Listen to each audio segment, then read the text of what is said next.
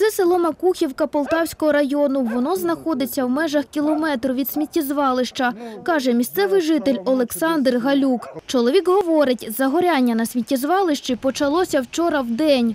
Приблизно півдругого, в два, дуже високий стовп дима чорний був.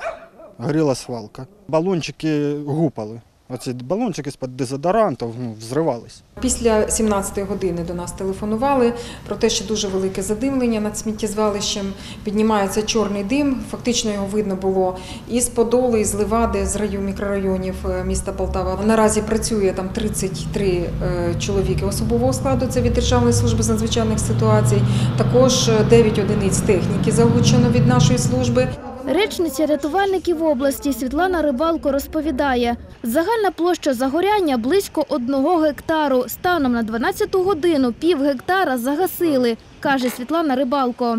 Пожежу було локалізовано, тобто збите полум'я повністю о 22 годині вчорашнього дня. По причині пожежі точно сказати зараз не можу. Може бути це і самозагорання в глибині цього сміттєзвалища, десь на, глибині від 1 метра до 2. Під час горіння сміття у навколишнє середовище виділяються такі небезпечні речовини, як оксиди та діоксиди азоту, сірки і вуглецю, бензопірен і вуглеводні.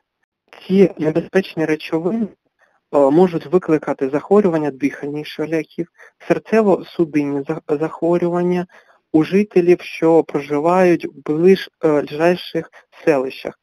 Це е, село Терешки, село Лісок, Макухівка.